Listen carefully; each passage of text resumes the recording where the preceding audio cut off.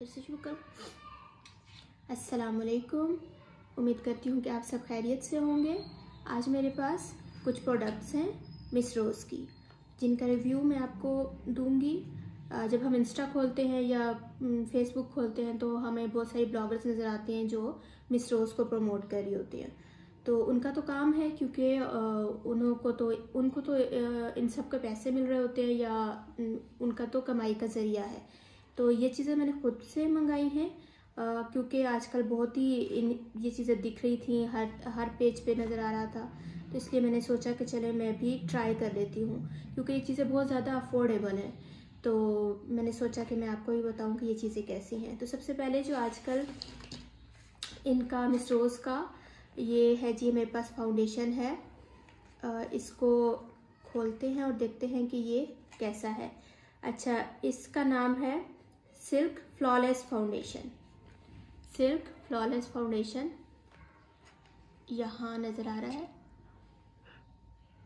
Silk flawless foundation. मेरे पास जो इसका शेड है वो फेयर है।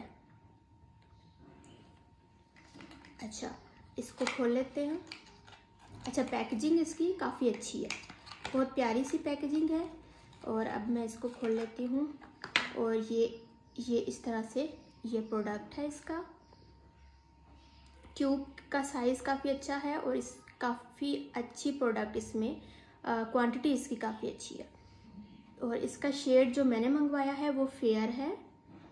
ये इसकी वेट ये इसका शेड है। अच्छा जब मैंने इसको मंगाया तो मैंने इसको ट्राई किया अपने फेस पर। तो मैंने उस टाइम फेस पर कोई भी मॉइस्चराइज़र नहीं लगाया हुआ था। उसके बावजूद ये अच्छे से ग्लाइड हो रही थी यानी अच्छे से ब्लेंड तब भी हो रही थी। लेकिन अगर मॉइस्चराइज़र के साथ करेंगे तो ये ज़्यादा अच्छे से होगी। अच्छा इसके शेड की ये बात है कि मैंने ये शेड फेयर मंगवाया है। आ, इसका शेड इस तरह से है कि अगर आप इसको डार्क शेड मंगवा लेते हैं तो इसने ऑक्सीडाइज हो जाना है और ये शेड थोड़ा डार्क हो जाएगा लगने के बाद। तो आपने क्या करना है कि जहाँ तक मेरा ख्याल है कि ये शेड आपको लाइट ही लेना चाहिए क्योंकि इसने एक नंबर ऑक्सीडाइज ज़रूर होना है। तो इस वजह से मैंने फेयर शेड मंगवाया है और जब आ, दिखने में ये काफ़ी लाइट लगता है लेकिन जब इसको अप्लाई करें तो ये आपके फेस के साथ मैच कर जाता है। तो मेरी तरफ़ से ये रिकमेंडेड है।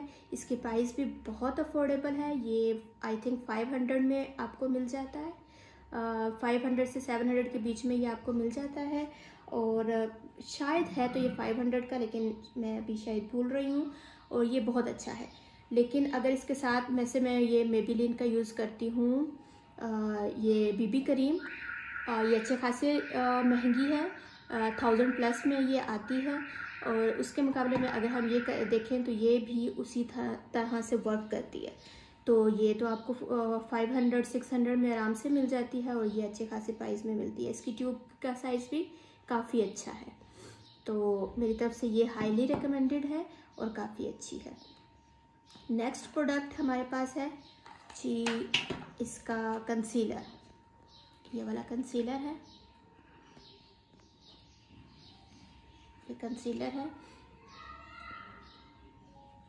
अच्छा ये कंसीलर जो इसका शेड है, ये बेच टू है। और, क्योंकि अगर लाइट शेड मंगा लेंगे तो जो डार्क सर्कल है, वो ग्रे दिखेंगे। इसलिए थोड़ा कंसीलर में डार्क शेड ही बेहतर लगता है। तो ये बेच टू कलर है और ये इस तरह से है। और इसका ब्रश मुझे बहुत अच्छा लगा है। काफ़ी मोटा सा इसका ब्रश है। काफ़ी मोटा ब्रश है और ये काफ़ी अच्छा है। इसकी प्राइस भी फोर हंड्रेड है आई थिंक फोर हंड्रेड के बीच में है इसकी प्राइस और अगर वही बात है, हम मेबिलिन का यूज़ करते हैं नो डाउट कि मेबिलिन एक अच्छा ब्रांड है, लेकिन ये भी उसी तरह से वर्क कर रहा है अच्छा वर्क कर रहा है तो ये भी रिकमेंडेड है। अब हमारे पास बारी आती है मैजिक आईलाइनर की। मिस रोज़ का मैजिक आईलाइनर मैजिक आईलाइनर ये इस तरह से है कि ये दो साइड्स हैं इसकी। एक तरफ़ आपको विंग लाइनर लगाने के लिए आ, मिलता है। अच्छा ये। ये बहुत अच्छा है। मैंने हालाँकि मेरी प्रैक्टिस भी नहीं थी उसके बावजूद विंग लाइनर काफ़ी अच्छे से लग गया था। इसके लिए भी थोड़ी सी प्रैक्टिस की ज़रूरत ज़रूर है लेकिन इसके साथ आसानी बहुत ज़्यादा है। ये इस तरह से है ठीक है? एक तरफ़ शेप दी हुई है और एक तरफ़ ये इसका मार्कर है। और काफ़ी अच्छा है, बहुत अच्छा है ये। और वाटर प्रूफ है। बहुत अच्छा है ये। ये भी रिकमेंडेड है। और ये भी इसी तरह 400 500 के बीच में है। और अच्छा इन्होंने जो है, साथ में आपको एक्सपायरी डेट भी दी हुई होती है। तो अच्छे से दो साल की एक्सपायरी डेट दी हुई है इसकी। हाँ जी, दी गई है। लेकिन इस बात का ध्यान रखें कि ये एक्सपायरी डेट तब तक होती है जब तक ये बंद होता है। असल में एक्सपायरी डेट इसकी ओपन होने के बाद जो एक्सपायरी एक्सपायरी डेट होती है, वो ये होती है। ये after opening expiry date cosmetic products की ये होती है। ये जो आपको यहाँ पर दिखेगा, एक चार बना होता है और उस पर कुछ मंथ्स लिखे हुए होते हैं। ये असल में ओपनिंग की होती है। आफ्टर ओपनिंग ये आपकी एक्सपायरी डेट होती है। और जो सामने बिल्कुल क्लियर होती है, ये जब तक प्रोडक्ट बंद है, ये उसकी एक्सपायरी डेट होती है। अच्छा जी लास्ट में मेरे पास जो है फिक्सिड स्प्रे है। सॉरी हाँ फिक्सर है यानी कि मेकअप फिक्सर है ठीक है। ये I think so seven hundred के बीच में है फिक्सर ये इसकी बॉटल कुछ इस तरह है ये।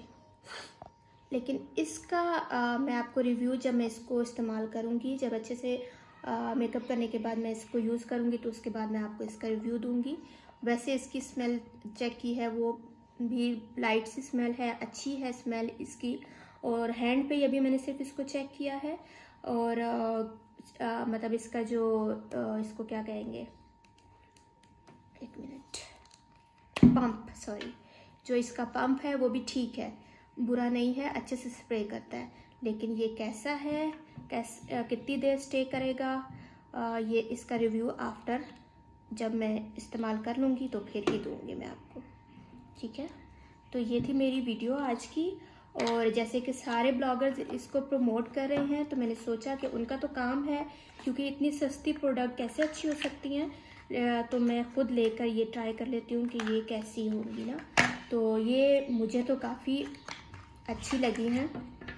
और काफ़ी अफोर्डेबल भी है। मेरी तरफ़ से हाईली रिकमेंडेड है।